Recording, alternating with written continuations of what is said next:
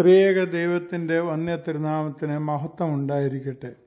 മറിയ വിലയേറിയ സ്വച്ഛ ജഡമാംസി തൈലം ഒരു റാത്തിലെടുത്ത് യേശുവിന്റെ കാലിൽ പൂശി.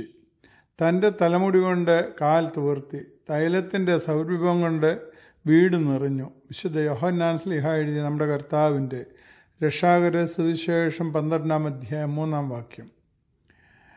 ഏഴാം വാക്യത്തിൽ യേശുവോ അവളെ വിടുക എന്റെ സംസ്കാര ദിവസത്തിനായി അവൾ ഇത് സൂക്ഷിച്ചു എന്നിരിക്കട്ടെ. ഈ സംഭവം നടക്കുന്നത് ലാസറിന്റെയും സഹോദരിമാരുടെയും ഗ്രഹത്തിലാണ്.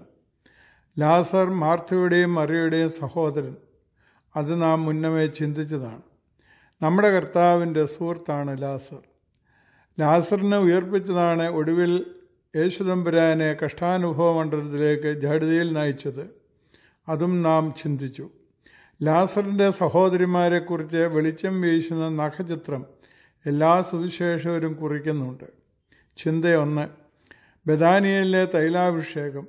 വായിച്ച വാക്കത്തിൽ അത് മുഴങ്ങിക്കേൾക്കുന്നു. നമ്മുടെ കർത്താവ് പറയുന്നു എന്റെ സംസ്കാര ദിവസത്തിനായി അവൾ അത് സൂക്ഷിച്ചു. മറ്റവസരങ്ങളിൽ എന്ന പോലെ മാർത്ത പരിചരണത്തിന് മേൽനോട്ടം വഹിക്കുകയും ഓടി നടക്കുകയും കഷ്ടപ്പെടുകയുമാണ്. മറിയ വളരെ വിലപിടിപ്പുള്ള സ്വച്ഛ സ്വച്ഛമായ നർദീൻ തൈലം കൊണ്ട് കർത്താവിന്റെ പാദങ്ങളിൽ പൂശുന്നു. ശ്രദ്ധേയമായിട്ടുള്ളത് കർത്താവിനായി സൂക്ഷിച്ചു എന്നാണ് പറഞ്ഞിരിക്കുന്നത്. ഹാബേലും കർത്താവിനെ അർപ്പിച്ചത് മേധസ്സിനെ തന്നെ എന്ന് പ്രത്യേകൻ സൂചി സൂചിപ്പിക്കുന്നുണ്ട്. ഒരു ചോദ്യം പൊതുവെ ചോദിക്കട്ടെ. നമ്മുടെ കർത്താവിന് വേണ്ടി വിലയേറിയതായി എന്തെങ്കിലും ചെലവ് ചെയ്യാൻ കഴിഞ്ഞിട്ടുണ്ടോ? അതോ കരുതിയിട്ടുണ്ടോ? രണ്ട് കർത്താവിനെ ആദിത്യം അരുളുവാനും ഹൃദയവും മനസ്സും കുളിർപ്പിക്കുവാനും പ്രവർത്തനയാതിരും കൊണ്ട് പരിമളവാസന വീശുവാനും ലാസറിനും സഹോദരികൾക്കും കഴിയുന്നു.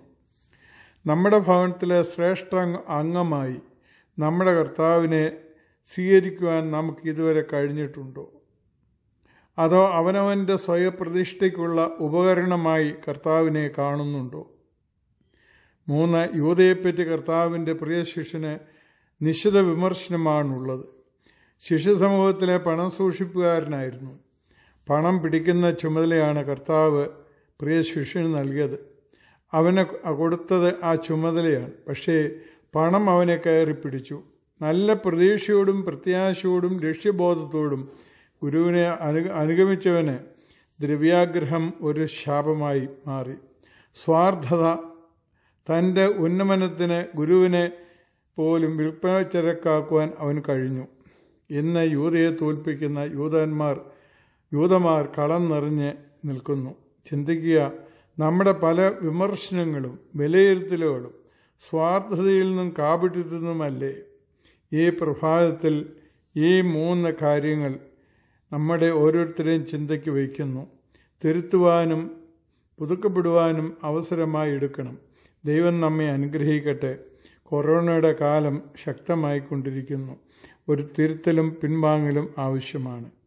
ദൈവമേ പരിമളവാസനയായി എന്നെ തന്നെ നിനക്ക് കാഴ്ചയായി സമർപ്പിക്കുവാൻ എന്നെ അനുഗ്രഹിച്ച് കാത്തുകൊള്ളണമേ. പിതൃത്ര പരിശുദ്ധാത്മാവായ ത്രിയദൈവത്തിന്റെ കൃപ അനുഗ്രഹങ്ങളും നാം എല്ലാവരുടെ മേലും ഇന്ന് നാളുണ്ടായിരിക്കുമാറാകട്ടെ